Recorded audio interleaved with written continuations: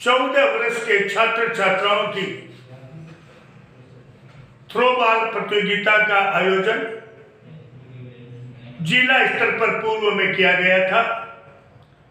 और मुझे ये कहते हुए गर्व होता है कि अणुवृत्त विद्यालय छापर की कार्य क्षमता को देखते हुए प्रशासन ने, शिक्षा विभाग ने राज्य स्तरीय प्रतियोगिता भी छापर में करवाने की घोषणा की और ये राज्य स्तरीय प्रतियोगिता चौदह वर्ष के छात्र छात्राओं की थ्रो बॉल की 11 जनवरी को छापर में प्रारंभ हो रही है। और हमारे शिक्षा विभाग के अधिकारियों ने राष्ट्रपति पुरस्कार से सम्मानित, सम्माननीय चेंडू जी दाइमा पर विश्वास जताते हुए उन्हें इस प्रतियोगिता कराने का उन्हें निर्देश दिया। आप जानते हैं, किसी भी प्रतियोगिता के सफल संचालन के लिए, इतने बड़े आयोजन के लिए आर्थिक सहयोग की आवश्यकता होती है। सरकार द्वारा जो सहयोग किया जाता है, उसमें हम राज्य स्तर पर आने वाले सभी खिलाड़ियों को, जो शासक टीमें छात्र छात्राओं की आएगी, उनकी समुचित व्यवस्था नहीं कर पाते। मुझे गर्व है, ये कहते हुए छापा के भामाशा शिक्षा और क्रीड़ा के क्षेत्र में सदैव अग्रणी रहे हैं। मैं उल्लेख करना चाहूँगा, इस प्रतियोगिता के लिए मैं स्वयं श्री चैन दायमा शिक्षाविद रेखाराम जी गोदारा ने जब भामाशाहों से संपर्क किया और उन्हें इतने बड़े आयोजन के लिए। उन्हें जब सूचना दी, उन्होंने मुक्त कंठ से हमें सहयोग का आश्वासन दिया।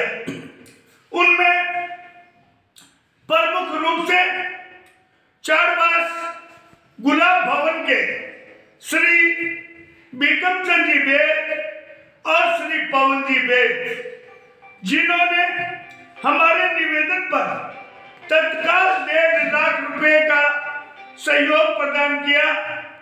और जब हमने एक समस्या उनके सामने रखी कि इतने अधिक संख्या में छात्र छात्राएँ एवं कोचे जाएँगे तो उन्होंने अपना गुलाब भवन, जो 50 कमरों का सुसज्जित भवन है, वो सुविधा हमें दी कि आप यहाँ पर खिलाड़ी छात्र छात्राओं को रुकवा सकते हैं। मैं अपने पूरे दल के साथ आपका हार्दिक अभिनंदन करता हूँ। यहाँ ये, ये भी बताना चाहूँगा कि श्री गुलाब जी बेद जो परोपकार के कार्य में शिक्षा के कार्य में सदैव अग्रणी रहते थे काल के क्रूर हाथों से हमसे वो छीन लिए गए। कोरोना काल में उनकी देहांत हो गया और उनके के पश्चात अपने भाई के सपनों को साकार करने में सम्मानीय भिकम चंद जी बेद और पवन जी बेद ने सदा आगे रहे हैं, अपने भाई की इच्छाओं की पूर्ति की है, मैं उनको नमन करता हूँ। एक दूसरे भामाशा हमारे अमेरिका प्रवासी रतन मधुलिका बेद के द्वारा हमें एक लाख का सहयोग मिला। जब मैं चेंदू जी और रेखा राम जी, तीनों रतन जी बेद सब पत्नी यहाँ आए हुए थे। हम उनके पास गए तो उन्होंने तत्काल इस राज्य स्तरीय प्रतियोगिता के लिए एक लाख रुपए का अनुदान हमें दिया।